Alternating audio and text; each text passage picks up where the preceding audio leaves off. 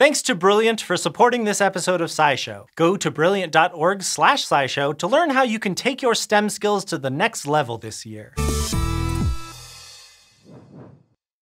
Lots of fish have been documented eating birds, from bass to tiger sharks. But usually it happens in a kind of accidental way that doesn't require much effort from the fish. Like some fish might snag a bird that's sitting on a reed just above the surface. And even those sharks are just snacking on songbirds that get worn out during their migration over the Gulf of Mexico. But overall, the only way most fish are going to eat a bird is if it comes to them, not tigerfish. In a 2013 paper, researchers documented these huge toothy fish leaping from the water water to catch swallows in mid-flight in a lake in South Africa, which isn't something fish are generally adapted to do, but the researchers documented two different tactics they used to go after their feathery prey. Some of the time, the fish just went for it, lunging directly at a bird from deep water. Other times, they just chased along after a bird from just under the water's surface before leaping out after it. And the chasing method was the less successful of the two. The researchers believe that's because the fish had to compensate for the way their view of the birds was distorted by the water,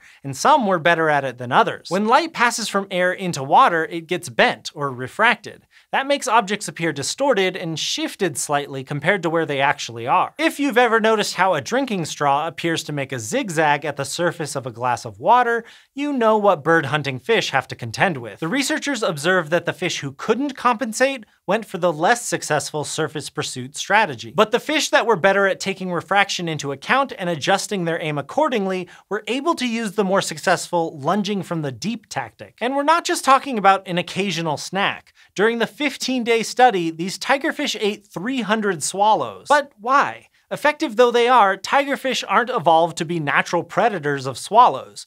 Normally they prey on other, smaller fish. However, the lake they live in is artificial, created by a dam it doesn't have a lot of those prey fish living in it. In fact, these particular tigerfish have to spend as much as three times as much time foraging for food as their cousins in other habitats. So supplementing their diet with passing birds might be one way they're adapting to this situation. But it has its downsides too. The researchers who did the study think that leaping into the air after swallows could be exposing the tigerfish to predation by other birds, like eagles. They're hoping that other scientists will continue to study this unique ecological interaction to make sure it isn't putting either the tigerfish population or the swallow population at risk. But either way, it sounds like small birds in South Africa should probably be keeping an extra close eye out whenever they have to fly over water. Now it turns out these fish had to solve a physics problem figuring out how the bending of light was making it harder to target their prey. Maybe they should have signed up for Brilliant's Waves and Light course. They would have learned all about how light and other kinds of waves travel, and maybe snagged a meal a little easier. All of Brilliant's courses have storytelling, code writing, and interactive problems. You can go to brilliant.org slash scishow to learn more and score 20% off an annual premium subscription.